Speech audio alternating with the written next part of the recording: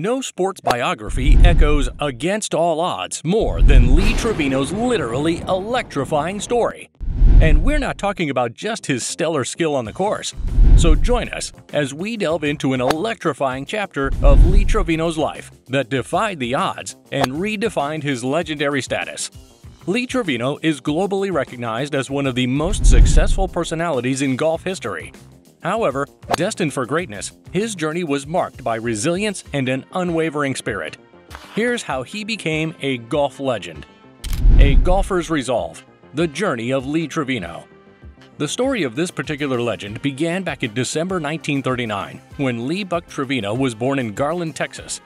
You probably didn't know this, but the Trevino family is of Mexican ancestry, and Lee was raised by his mother Juanita Trevino and his grandfather Joe Trevino, a gravedigger. He never really had a formal education and only attended school occasionally.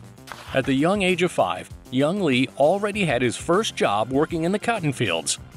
A few years later, he developed an interest in golfing when his uncle gave him a few golf balls and an old golf club. Having been given the necessary equipment, young Trevino would sneak into nearby country clubs to practice his game. And a little while later, he began working as a caddy at the Dallas Athletic Club. Earning about $30 a week as a caddy and shoe shiner, Trevino opted to drop out of school at the young age of 14 and focus on caddying full time. As a caddy, he got to practice golf at the three short holes set apart for the caddies behind their shack. And he would hit at least 300 balls every day after work. The turf where he trained was way below standard, with very little grass, and the weather was really windy. But guess what? Supermex turned playing on Texas hardpan in the wind into a way of developing his trademark golf swing. He learned to handle the club in an extremely distinct unique, and compact yet effective method, and improved on his skill.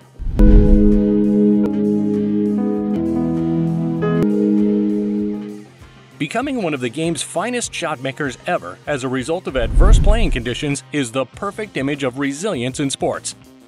Many people don't know this, but after a few years of caddying, Trevino enlisted in the United States Marine Corps immediately after he turned 17 in December 1956. This golf legend definitely didn't take the regular path to becoming a professional golfer.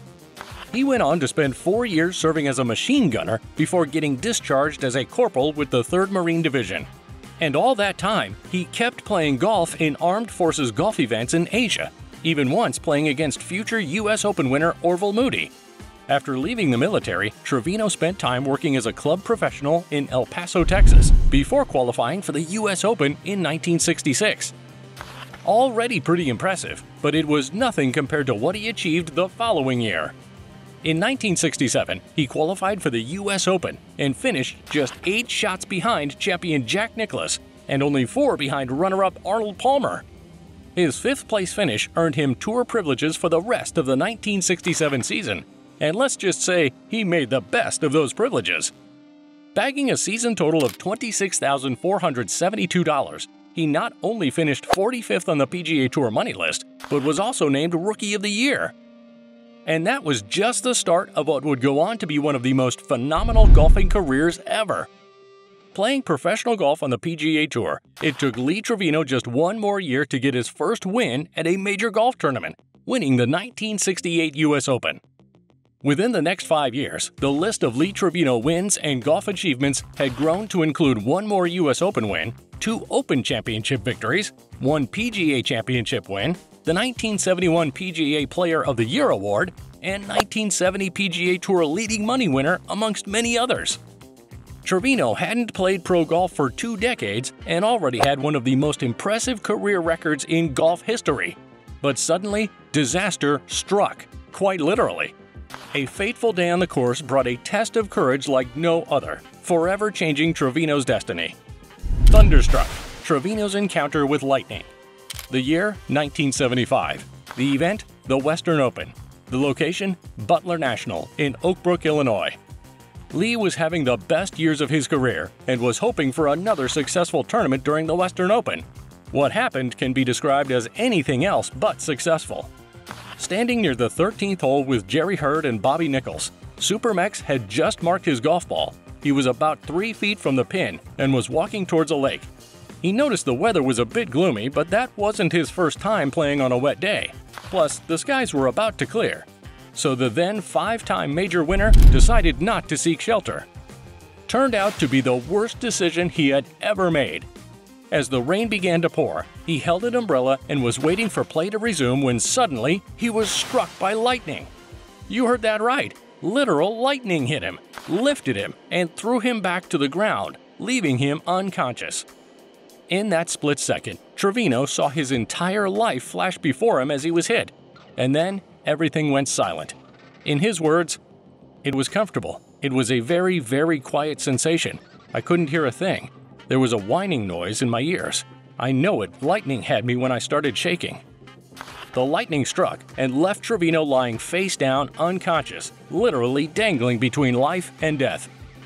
When he was rushed to a hospital, even the doctor in charge was lost for words. The only medical reason for Trevino still being alive was his strong heart. However, in the face of adversity, Trevino's unyielding spirit guided his road to recovery and a triumphant return to the sport. Unyielding spirit, Trevino's road to recovery. Without any diagnosis from a medical professional, you already know that surviving a lightning strike can't be a small feat. The Eugene Register Guard initially reported that Trevino and the other two golfers who got struck had suffered only minor injuries. But that was probably just to keep the nerves of people down. The lightning strike left Lee with many burns on his back, but that was just the start. His muscles had atrophied considerably, and further tests showed that it also damaged many of the internal parts of his back, resulting in a number of spinal injuries that eventually required surgery. Trevino's damaged spinal disc was removed, but the back pain was something the doctors couldn't treat. Back pains have knocked out some of the most famous golfers, but Lee Trevino is not just your regular golfer. He is one of the most inspiring athletes ever. Newspapers and magazines all talked about him being finished and how hard it would be to come back from a back injury. However, in what has undoubtedly gone down as one of the most inspirational sports stories, Trevino did the seemingly impossible, and after the next three, he was back on the green. You heard that right. Even the common golf injuries take longer to recover from. This resilient spirit is what makes Lee Trevino's comeback one of the greatest sports comebacks ever. Playing golf with back pain required him to stand more upright, and he couldn't cut the ball the way he used to. He essentially had to switch up his signature swing, but Trevino was determined to do whatever it took to get back to top playing form. Find Trevino's story inspiring? Make sure to hit the like button and subscribe for more intriguing stories from the world of golf. After the storm, the sun. Trevino's return to golf brought a wave of triumphs that marked a golden era in his career. Triumph over tragedy. Trevino's post recovery success. Lee Trevino's story of triumph over adversity won't be complete without mentioning all he achieved after his comeback. And trust us, the Lightning just might have been the extra charge Trevino needed. He got back into action a year after the strike and won the 1976 Colonial National, but that was only the start. He went on to win a tour event in each of the following three seasons. The early 1980s came, Supermex had a drought for about three years, and the media narration was his back injury finally ending his career. However, if a lightning strike couldn't end Lee's career, nothing can.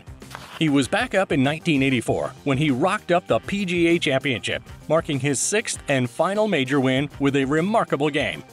Trevino shot all four rounds under 70 and set a new record with his final score of 15 under par at Shoal Creek in Birmingham.